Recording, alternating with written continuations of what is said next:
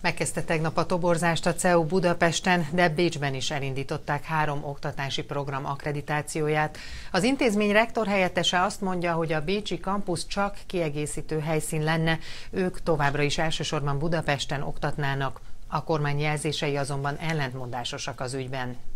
A Fidesz kommunikációs igazgatója szerint most is vizsgálják a CEU dokumentációit, ami időigényes folyamat, ezért nincs még megállapodás. Több százan tüntettek tavaly a CEU mellett. A szimpátia tüntetés szervezője sajnálja, hogy még mindig a pecsétes papírra vár az egyetem, ugyanúgy, mint a demonstráció idején. Mindenképpen megcselekedtük azt, amit megkövetelt a haza, hogy így mondjam, és ha mindenki legalább annyit megtenne, hogy hogy kimenne egy tüntetésre, hogy szervezne kisebb, akár csak helyi köröket a egyetemekkel, oktatással kapcsolatban, már is előrébb lennénk. A CEU rektor helyettese továbbra is ellentmondásosnak látja a magyar kormány jelzéseit az egyetem jövőjével kapcsolatban.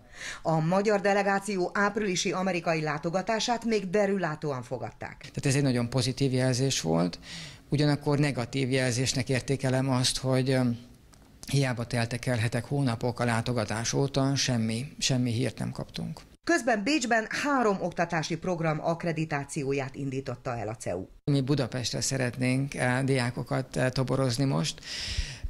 Bécs, ahogy említettem, és nem csak Bécs egyébként, hanem New York is, ezek kiegészítő kampuszok. Tehát nagyon speciális programokat indítunk be ezekben az országokban, olyan programokat, amelyeknek igazából ott van helyük.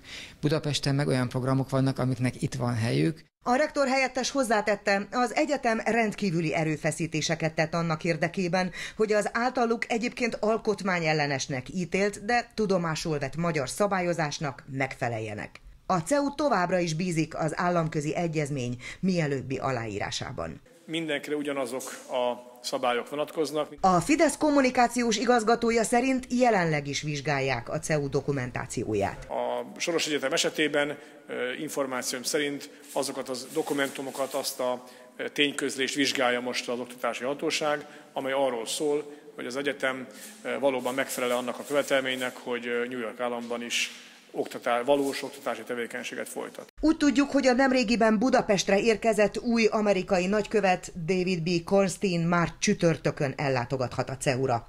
Az egyetem sokat vár ettől a megbeszéléstől.